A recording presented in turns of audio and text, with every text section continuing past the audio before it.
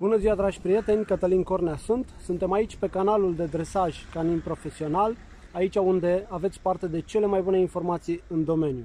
Astăzi m-am gândit să împărtășesc cu voi o ședință de consultanță evaluare a unui border collie, o femeluță, și să ne întâlnim în secțiunea de comentarii, să vă dați cu părerea, să să-mi spuneți ceea ce considerați despre spusele proprietarei acesteia în această conversație, în acest dialog, despre sugestiile pe care le-am dat sau întrebările pe care le-am pus. Dacă aveți și voi întrebări, le puteți pune acolo în secțiunea de comentarii. Haideți să discutăm. Totodată nu uitați să vă duceți, să dați un subscribe, să dați un like dacă vă place sau pur și simplu să distribuiți pentru că este important ca informații sau bucățele din informații care vă pot fi utile să ajungă la toată lumea. Ok? Urmărim acum această ședință pe care am înregistrat-o audio-video uh, parțial și haideți să discutăm. Vizionare plăcută!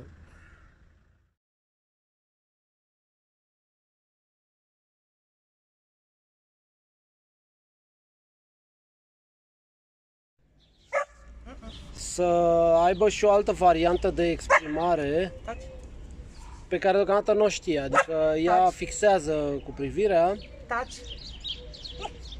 Ok. Da, deci Touch. deja văd că ați lucrat cu... Uh-uh. Touch. Touch. Na, distragere. Ok. Ok. Și dacă îi se pare că este atât de presată încât nu o să mai vrea mâncarea pentru că trebuie neapărat să cu privire aici. Hmm?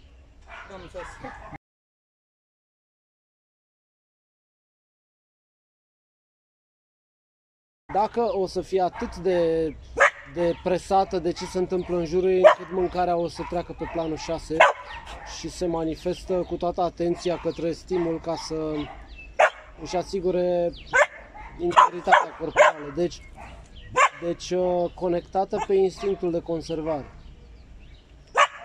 Ce facem? Tocmai de aceea avem nevoie de lăsă și gardă să învățăm prin comunicarea tactilă că lucrurile pot sta și altfel. Altfel ea rămâne cu atenția către om și de exemplu acum omul când a plecat ea o să înțeleagă așa ea o să înțeleagă că l-a fixat cu privirea, a lucrat îngrijorată și a fost perfect că astfel omul a plecat. și se dezvoltă, da, exact, se dezvoltă acest comportament tocmai în sensul în care nu-l doriți. Adică, bun, ok, hai să-i spunem culcat acum. Culcat.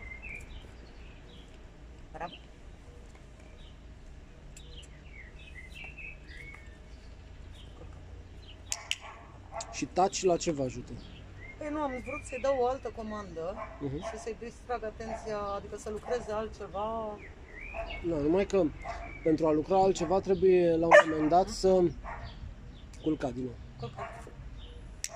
Trebuie la un moment dat de, să să rezolve problema asta, ca să poată să se concentreze cu totul pe exercițiile de targeting și pe uh-huh. alte tipuri de exerciții tip clicker training. asta și la noi în casă Dar nu iese din starea asta foarte ușor dacă ea este preocupată de tot ce se întâmplă în jur și dacă este atentă la, la nivelul ăsta.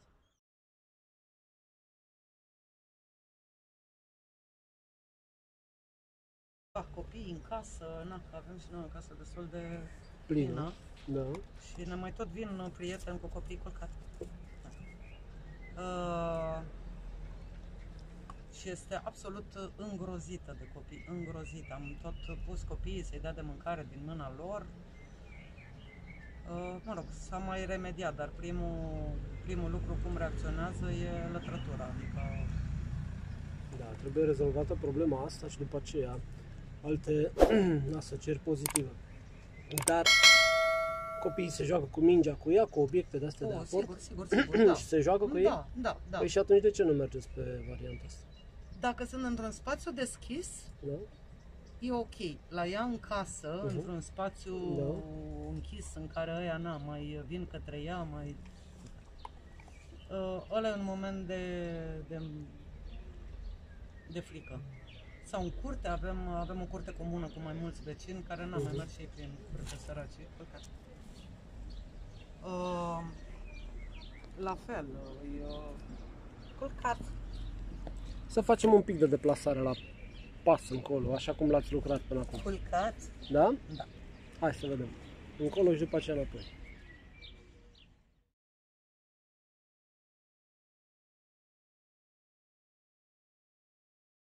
Hai, hai să arătăm. Picior.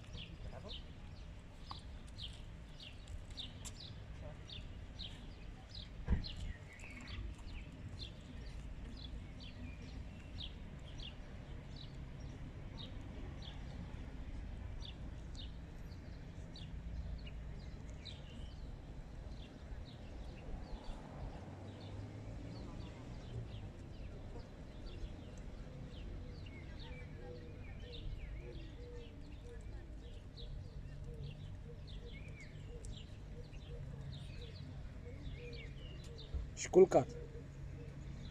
Culcat. Culcat. Culcat. Super. Culcat. Ați mai fost undeva cu ea la dresaj sau ați făcut acasă? Eu am făcut acasă. Ok. Ok. Bravo. Da, da, asta e așa o demonstrație. Și dacă o lăsați așteaptă stă? Stă, nu foarte mult, Mhm. dar uh, stă. Ați Da, dar folos... și așteaptă-le din șelți. Hai să încercăm un așteaptă acolo. Doi Mhm. pași, trei pași. Cu fața încoace, da? Da, da. Toarcere la picior. Hai, repede. Șezi? Aștepți. Aștepți. Aștepți. Ok. Bravo, bravo. Eu am Bun. început agility cu Folosiți ea. bine markerele și clickerul și verbalul. Hei, hei. E bine. Uh, eu mi-am luat al doilea pui ca să fac agility cu el. Da, clar, adică ăsta. Adică ăsta, da. Da. Am făcut cea mare și am zis, hai să pornesc... Uh, stai. Uh, bravo. Bravo. Uh, și am încercat cât am putut. Fux. Stai? Nu, vin aici. Bravo. Uh, dar... Uh, ia, hai, hai, să rup gâtul. Adică două, trei chestii am mai făcut cu ea, Da, să vedem. Să vedem. dar uh,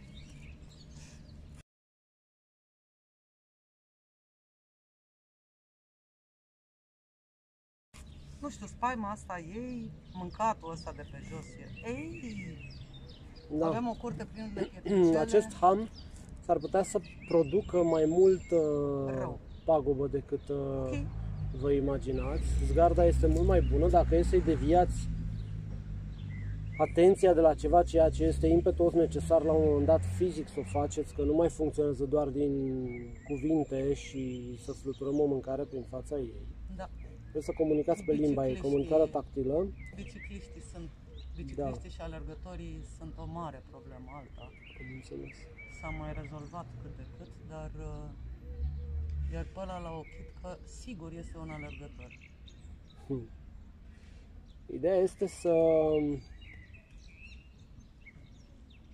să puteți să o deviați, să îi puteți controla atenția care ar fi fixată cumva pe, pe diversi stimuli, așa cum este și acum, din diverse Aha. motive. Ori că uh, se încarcă cu, cu stres, ori că se comută pe instinctul de vânătoare Aha. și vrea să vâneze.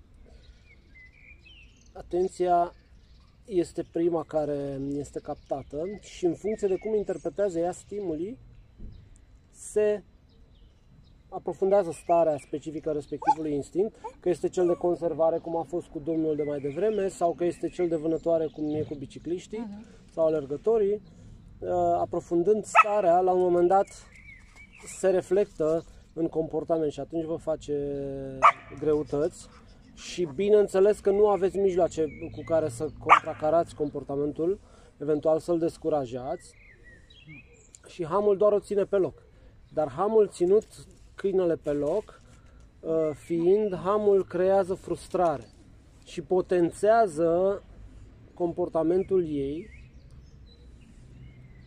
Până la urmă se și condiționează la tensiunea înlesă și intră la un moment dat în starea asta fără să vadă vreun stimul, dar începe să-l anticipeze, uh-huh. pentru că așa creați asocierea perpetuă. Și atunci este foarte important să faceți mai mult decât uh, să o țineți de ham pe loc și să îi fluturați mâncarea, că poate, poate o să renunțe la ceva atât de puternic să, întoarce la, să se întoarcă la o bucățică de mâncare.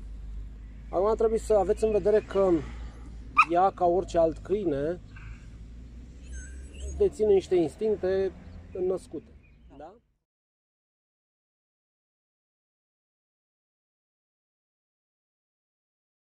Hrană, de conservare, de vânătoare și eventual sexual, dar ăsta se manifestă și el la femele doar într-o anumită uh, perioadă a anului sau de două ori în acea perioadă. Și atunci, dacă ea se comută conform stimulilor pe care îi întâlnește și cărora le dă atenție pe câte un instinct, noi trebuie să vedem cum reușim să facem switch-ul de pe acel instinct pe un altul. Dar aici intervine o problemă. Ce instinct folosim ca să le înăbușim pe celelalte care devin dominante în momentul respectiv la, la um, întâlnirea cu, cu acești stimul din mediul exterior. Ok? Și atunci este foarte important să ne, să ne înarmăm cu mijloace de comunicare și de control uh-huh. și care pot ajuta la, la antrenarea câinului să facă switch-ul ăsta în plan psihic de pe o stare pe alta din ce în ce mai ușor. Dacă vede că există alternative în comportament, le va atunci va, va alege acele variante, așa cum alege ea, de exemplu, acum să facă ceva ca să vă determine să, să dați markerul verbal și să dați mâncare, dar acum este pe o stare uh, bună ca să se concentreze pe mâncare. În prezența unui stimul, și slavă Domnului, în mediul acesta sunt o grămadă de stimuli, starea aceasta va fi modificată. Absolut. Și atunci mâncarea nu mai funcționează și atunci trebuie să aveți alte mijloace prin care să o comutați de pe acea stare indusă de stimulul exterior și să revină iar într-o stare optimă de, de concentrare pe a oferi comportamente care îi aduc bobița sau recompensa pe care și-o dorește. Dar asta depinde numai de starea psihologică în care se află. Ok? Deci depinde de cum se raportează ea la stimul. Ea trebuie învățată și nu mai funcționează clicker training-ul și de condiționarea counter conditioning, cum zic oamenii aceștia din clicker training, uh, nu mai funcționează în mod eficient într-un mediu plin de distrageri atât de puternice din punctul ei de da, vedere. Exact, asta e În consecință, trebuie să învățați și alte mijloace de, de comunicare, de control tehnici, de dresaj și folosind instrumente din dresaj prin care să plusați la nivel de, de conversație cu ea și să reușiți să-i modificați starea.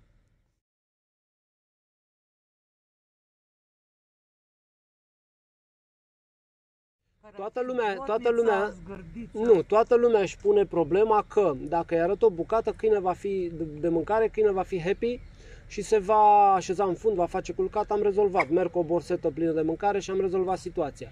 Apoi, toată lumea spune, ok, o țin în ham, nu vreau să-i stric gâtul și totodată n-am de ce, pentru că uh, ar deranja-o prea tare. Eu vreau să fiu atât de humane încât, da, sau să doar să vorbesc cu ea și să folosesc marcare din acestea, ori negative, ori pozitive, da. e, e, i, i, a, a, uh, fui sau uh, ok sau bravo sau ia, dar uh, nimeni nu-și pune problema că aceștia sunt stimuli. Sonori, da?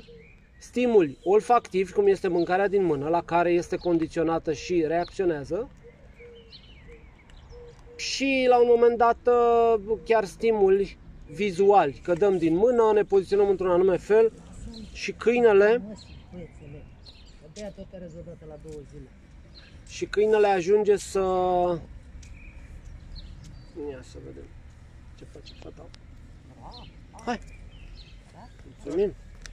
Bună reacția! Asta a fost bine. Acum a ajutat-o că a văzut omul că se duce și că nu stă cu fața. Odată ce stă cu fața este presiune pe care o resimte. Exact, exact. A, Și de asta aceea vreau reacționează să zic așa. că, Da, dacă au mai Văzându-l pe om că pleacă, e, trebuie să se creeze într-o situație ca aceasta o legătură între omul care vine cu fața și același om care pleacă.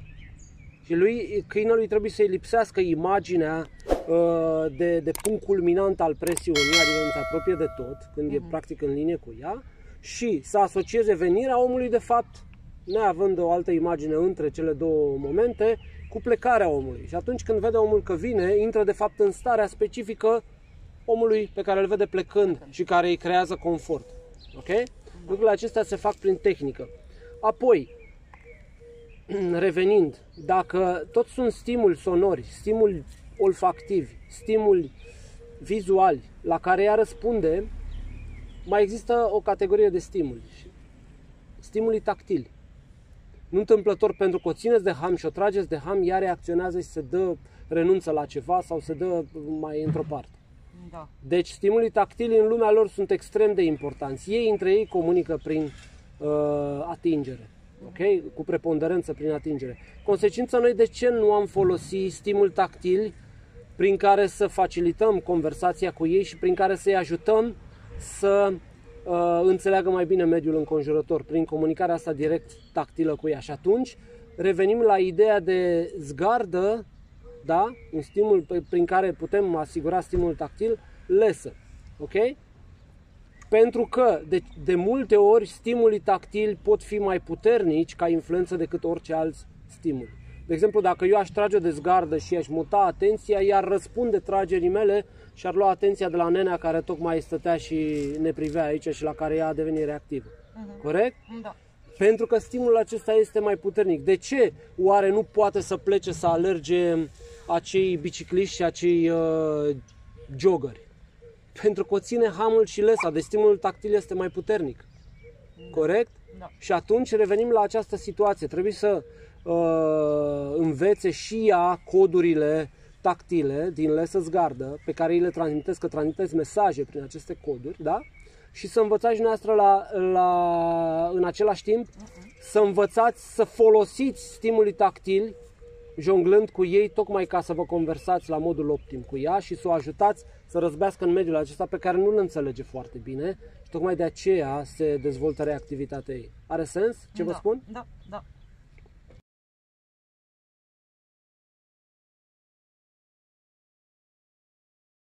Adică ați făcut lucruri drăguțe, arată bine, dar lucrurile pe care le faceți la un moment dat trebuie să fie și utile. Dacă nu le puteți folosi atunci când aveți nevoie, înseamnă că nu aveți ce să faceți cu, cu ceea ce ați făcut. În consecință, trebuie să re- aveți această abordare psihocomportamentală care ține și de comunicarea tactilă, lucrând pe situațiile respective și apoi puteți să apoi puteți să dezvoltați mai departe până în lună și în stele cu acest uh, tip de condiționare operant. Ok? Da. Așa stau lucrurile, dar uh, va trebui să, să faceți transferul de pe ham pe o zgardă Ok. care îi controlează capul, deci Da, vă referiți implicit cumva la zgarda aceea, că eu am vrut La să-i pun zgardă. zgarda aia de... Nu, la zgardă. O- Despre ce tipuri de zgărzi o să vorbim. Dar la zgardă, în primul rând.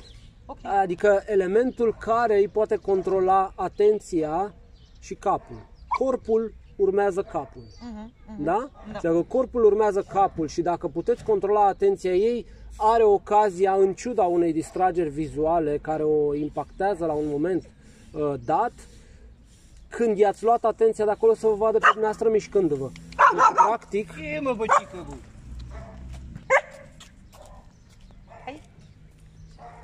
Deci, practic, să în acea situație are ocazia să vă vadă mișcându-vă. Deci vă puteți folosi ca stimul vizual care poate, cu plusul acesta de stimulare tactilă, să învingă influența stimulului exterior vizual. Ok. Și dacă mai folosiți și un pic de voce în același timp, aveți Zici că deja e trei surdă, stimuli. Zici că e surdă, deci am ieșit în herăstră unde ieșim cu cea mare de șapte ani de când o avem. Uh, Deci asta mică, inițial am ieșit cu ea doar cu zgardă, Mhm. uh, după care am cumpărat hamul.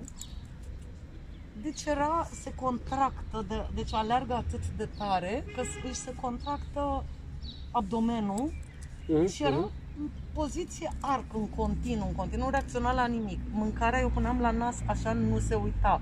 Urlam, nu, nu reacționa, Da. dar știi că e cu urechile date pe spate și era în modul fugă. Da, da.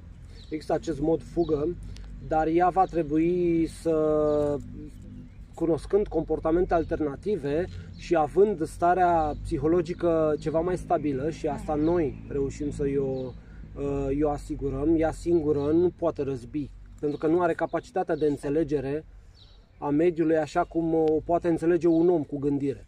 Da? Și în consecință, noi suntem cei care asigurăm impresiile ei vis-a-vis de stimuli din mediu, de mediul înconjurător.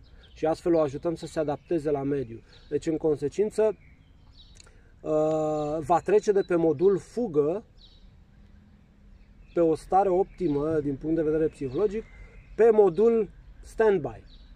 Nici măcar freeze, adică nu, și nu va mai fi nici reactivă pentru că toate aceste reacții se pot transforma la un moment dat în fight.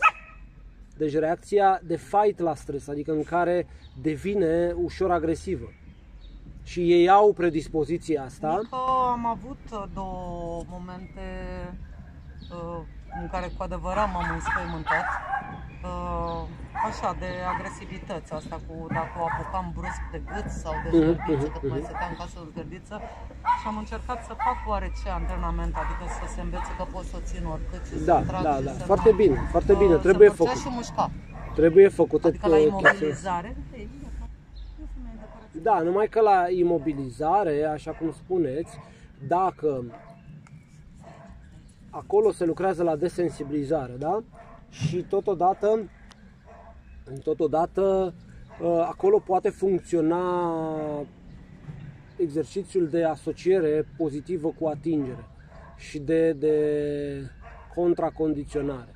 Dar, Totodată trebuie să, să fie asigurată, asigurat și controlul părții din față, partea pe care o folosește ca să respingă orice atingere și orice control.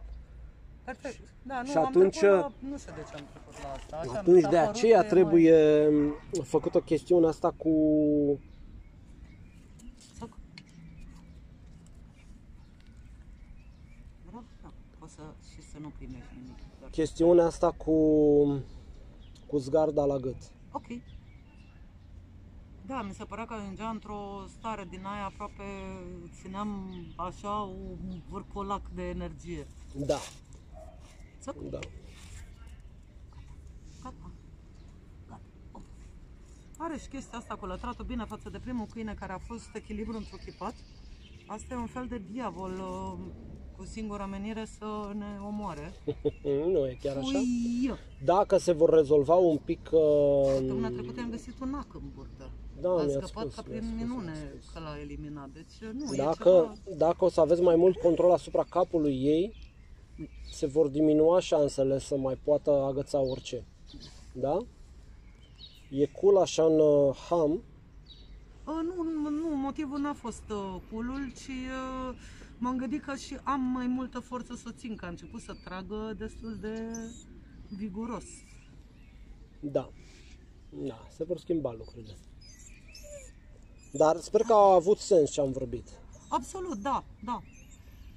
Și sunt multe lucruri așa să zic pe care teoretic le-am auzit în uh, viața asta. Chiar am fost destul de pasionată de Da, câini, foarte de, mai bine. ales de când o am pe cea mare. Foarte bine. Măi, măi, măi, țușculen. Dar asta e foarte dulce, e foarte caldă, e foarte așa, dar mă depășește un pic. Adică mi-e teamă că încep să fac niște greșeli destul de... Nu le Importante veți mai să zic face. așa. Da, nu le veți mai face. Uh, Fără să vă dați seama, puteți face anumite, să aveți anumite erori pentru că nu puteți gândi în perspectivă și cu câteva mutări înainte ce fel de asocieri face ea. De exemplu, dacă ea se uită acolo și latră de trei ori la cineva, dumneavoastră strigați, o faceți atentă și dați recompense. E, asta poate fi o asociere păguboasă. Făcut de două ori. O asociere păguboasă în care, efectiv, dacă, dacă ea se uită și latră la cineva, Lăsăm este un de mama comportament oferit care vă face să reacționați și să Ei. îi uh, oferiți recompensă. Deci ea poate înțelege asta. Dacă nu uh, aveți prezența de spirit să vă dați seama de treaba asta, cățelul uh, se dezvoltă în felul ăsta.